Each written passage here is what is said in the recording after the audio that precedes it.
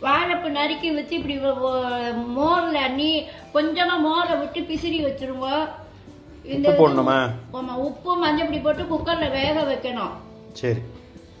இது வந்து பருப்பு செடி பண்ண போற பருப்பு செடிக்கு வந்து இதோ இந்த துவரம் பருப்பும் கடலைப்பருப்பும் பாதி பாதி போட்டு மொத்தம் அரை க- துவரம் பருப்பு கால் கப்பு கடலைப்பருப்பு கால் ரெண்டும் சேர்ந்து அரை கப்பு ஊற வச்சிருக்கேன். அதுக்கு வந்து எவ்வளோ நேரம் ஊற வைக்கணும்? ஒரு கா பத்து நிமிஷம் ஊறினா போறோம் அதுக்கு வந்து இந்த மிளகா மூணு மிளகா அவ அவளுக்கு எவ்வளோ காரம் வேணுமோ வச்சுக்கோங்க. நான் மூணு மிளகா வச்சிருக்கேன். வச்சிருக்கேன். இதோட வந்து உப்பு கொஞ்சம் மிளகா வத்தலையும் உப்பையும் போட்டு கொஞ்சம் பரபரன்னு அரைங்கோ.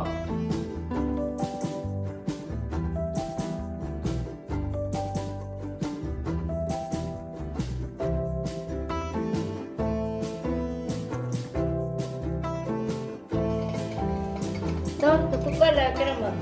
だってやってるもん、ここから。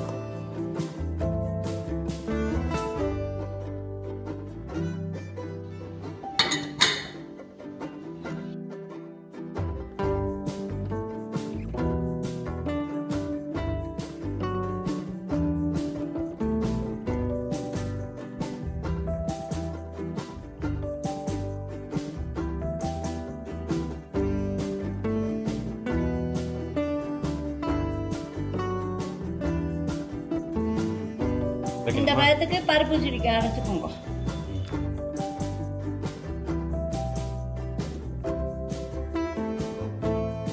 கொஞ்சம் பெருங்காயம் போட்டுக்கோங்க. அப்புறம் மஞ்சள்.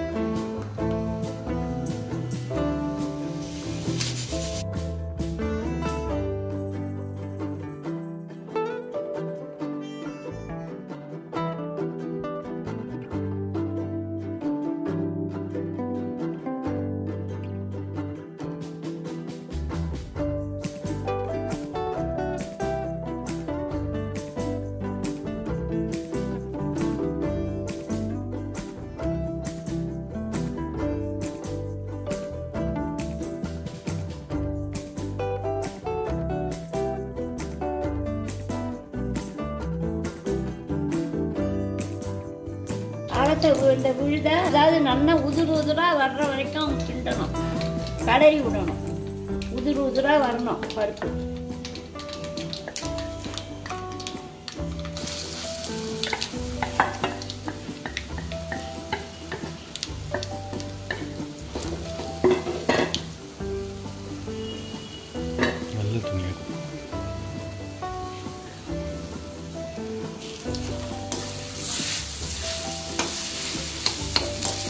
நிறைய எண்ணெய் வச்சு கலருங்க. அப்பதான் அது உதிரா வ- உதிர் உதிரா வரும். உதிர உதிராக வந்த பிறகு வாழைப்பூவை போட்டு வேக வச்ச வாழைப்பூவை போட்டு கலரி ஒரு விடணும் அதான் பருப்பு வாழைப்பூ. எல்லா கறியாயுமே இப்படி முதல்ல இப்படி உதிரி மாதிரி பண்ணிக்கணும். அரைச்சு அதுக்கப்புறம் வேக வச்சு பீன்ஸு அவரைக்காய் கேரட்டு எல்லா கறியாயுமே பருப்பு பருப்பு உசிரி பண்ணணும். வாழைக்காய் அவரைக்காய் பீன்ஸு எல்லா காயுமே பருப்பு வச்சுட்டு பண்ணணும். கொத்தரங்காய் வாழைப்பூவில் வந்து வாழைப்பூ கூட்டு பண்ணலாம் மிளகு அரைச்சி கூட்டுன்னு பண்ணுவா. அப்புறம் வாழைப்பூவில் வந்து வடை தட்டலாம். வாழைப்பூவை நறுக்கி வதக்கி அடையில போட்டு அடை தட்டலாம். வாழைப்பூவில் நிறைய வெரைட்டி பண்ணலாம்.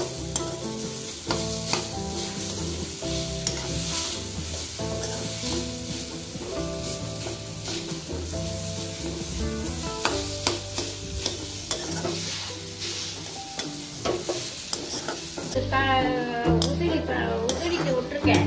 அந்த மாதிரி தாராளமாக இன்னும் நாலு அஞ்சு ஸ்பூன் விடுவோம் அப்பதான் இப்படி பத்து நிமிஷம் இப்படி இது பண்ணணும் கலரணும் உதுக்கிற வரைக்கும்.